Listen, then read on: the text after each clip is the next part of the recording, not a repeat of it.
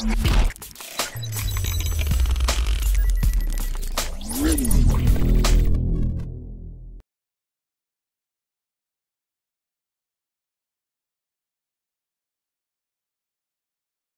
Hi friends sports பற்றின செய்திகளை உடனுக்குடனாக தெரிஞ்சுக்கொள்ள நம்ம தமிழ் கிரிக்கெட் சேனலை சப்ஸ்கிரைப் பண்ணுங்க.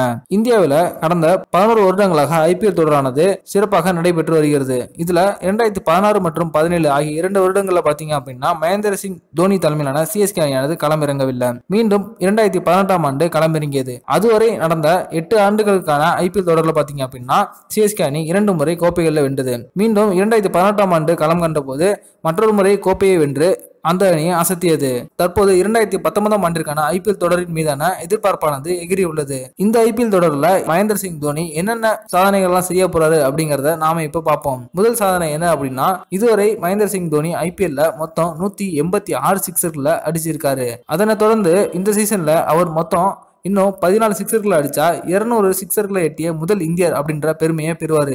இந்த பட்டியலில் பார்த்தீங்க அப்படின்னா மற்றொரு சிஎஸ்கே வீரரான சுரேஷ் ரெய்னா நூற்றி எண்பத்தி ஐந்து சிக்ஸர்களும் மும்பை இந்தியன்ஸ் அணியின் கேப்டனான ரோஹித் சர்மா நூற்றி எண்பத்தி நாலு சிக்ஸர்கள் அடித்தும் தோனிக்கு அருகில் உள்ளனர். இவர்களும் இந்த சாதனை செய்கிறதுக்கு வாய்ப்பு அதிகமாக இருந்தாலும் மகேந்திர சிங் தோனி இந்த சாதனையை விரைவாக முடிப்பார் அப்படின்னு எதிர்பார்க்கப்படுகிறது. மகேந்திர சிங் தோனி இந்த சாதனையை முதல் ஆளாக எட்டாவிட்டாலும் இருநூறு சிக்ஸர்களை எட்டின இந்தியர் அப்படின்ற பெருமையை இந்த சீசனில் கண்டிப்பாக பெற்றுவார். அதே போல இரண்டாவது சாதனை என்ன அப்படின்னா இதுவரை மகேந்திர சிங் தோனி ஐபிஎல் போட்டியில் நூற்றி பதினாறு விக்கெட்டுகளை வீழ்த்ததற்கு காரணமா இருந்திருக்காரு. இதுல மகேந்திர சிங் தோனி இரண்டாவது இடத்துல இருக்காரு. முதல் இடத்துல பாத்தீங்க அப்படின்னா கொல்கத்தா நைட் ரைடர்ஸ் அணியின் கேப்டனான தினேஷ் கார்த்திக் நூத்தி இருபத்தி நாலு விக்கெட்டுகளை வீழ்த்துவதற்கு காரணமா இருந்து முதல் இடத்துல இருக்காரு. இந்த சீசன்ல இவங்க இரண்டு பேத்துக்கு இடையே மிக கடுமையான போட்டி நிலவும் அப்படின்னு எதிர்பார்க்கப்படுகிறது. அடுத்ததா மூன்றாவது சாதனை என்ன அப்படின்னு பாத்தீங்கன்னா இதுவரைக்கும் ஐபிஎல் போட்டிகளில் மொத்தம் நூத்தி ஐம்பத்தி ஒன்பது போட்டிகளுக்கு கேப்டனாக விளையாடியுள்ள மகேந்திர சிங் தோனி அதுல தொண்ணூத்தி நான்கு போட்டிகளில் வெற்றி பெற்று கொடுத்திருக்காரு. அதே போல தற்போது நடக்க இருக்கிற இரண்டு இரண்டாயிரத்தி பத்தொன்பதாம் ஆண்டிற்கான ஐபிஎல் போட்டிகளில்